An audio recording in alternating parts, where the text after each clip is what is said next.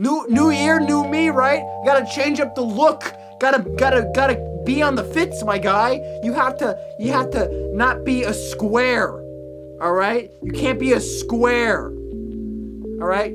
People are on the up and up now. Ever since it turned to the roaring 20s, am I right, my guys? You have to change your entire personality just so uh, you can fit your New Year's resolution. There are people in the gym that don't belong in the gym because they said that they're gonna get better, but then they don't because they don't follow through with the actual resolution. So there's overpopulation in the gyms, which is insane. And I'm not talking about the restaurant, I'm talking about gyms. Gold's Gyms, La Gym, or La Fitness. It's fucking beautiful. It's fucking great.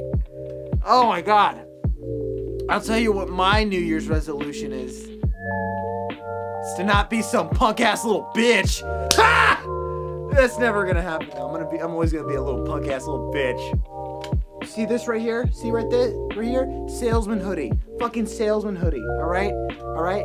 You gotta add to that brand, my guy. You gotta. You gotta. You gotta. You gotta be part of it. You have to. You have to. You have to. You have to know what you want to want. Look at this. Look at this.